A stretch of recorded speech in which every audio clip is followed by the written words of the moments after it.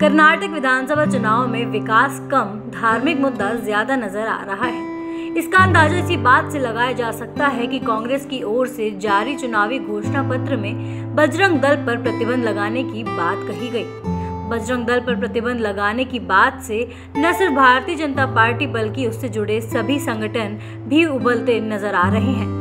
कांग्रेस की इस कुंठित मानसिकता को दर्शाने वाले सोच के विरोध में बजरंग दल सेना के कार्यकर्ताओं ने विरोध स्वरूप हनुमान चालीसा का पाठ किया।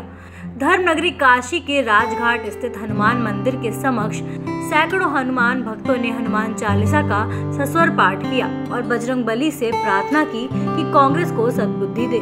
आइए सुनते हैं इस पूरे मामले पर सुधीर सिंह ने क्या कुछ कहा।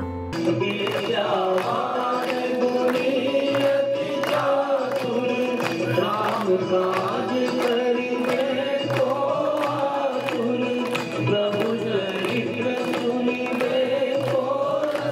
आज हम लोग ने विरोध किया, जो बजरंग दल पे बैल लगाने की बात जो कांग्रेस कर रही है। और बजरंग दल की तुलना वो पीएफआई से कर रही है, जो कि एक आतंकवादी संगठन है।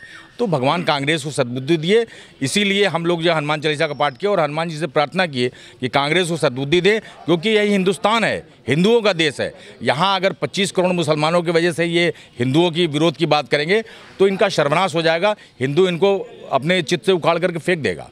देखिए, इसका विरोध सिर्फ़ कांग्रेस और जो धर्मनिरपेक्ष अपने को बोलते हैं, जो वोट की राजनीति करते हैं, खाली मुस्लिम तुष्टिकरण करते हैं, वो लोग इसका विरोध कर रहे हैं।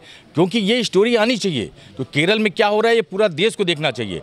केरल में लगातार हिंदुओं का पलायन हो रहा है, वहाँ हिंदुओं को भगाया जा रहा है। वो चाहते हैं कि केरल मुस्लिम बहुल हो जाए, जिससे वो भारत से अपने को अलग घोषित कर दे।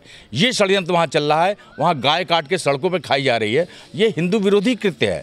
तो ऐसा अगर स्टोरी में दिखाया जा रहा है केरल स्टोरी में, जैसे कि अभी कश्मीर फ़ाइल आई थी, उसका भी कांग्रेस ने विरोध किया था, लेकिन पूरे देश ने देखा कि कैसे वहाँ ब्राह्मणों को मार मार करके वहाँ हत्या करके भगाया जा रहा है कश्मीर से।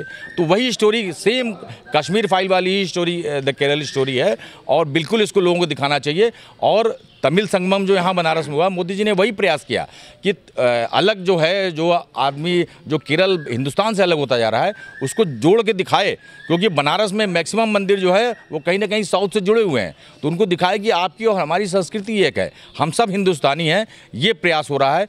तो जितनी भी निंदा की जाए बजरंग दल पर बैन लगाने की वो आ, कम होगी और कांग्रेस को भगवान सद्बुद्धि दें हनुमान जी सद्बुद्धि दें यही हमारा आज का प्रयास था।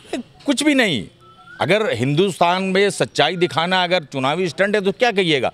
कांग्रेस नहीं करती है? ये कश्मीर फ़ाइल का विरोध क्यों है? ये केरल स्टोरी का विरोध क्यों है? ये सिर्फ़ मुसलमानों को खुश करने के लिए है इनको 25 करोड़ वोट चाहिए। उसके अलावा जो सवा सौ करोड़ हिंदू हैं, उनकी इनको कोई चिंता नहीं है।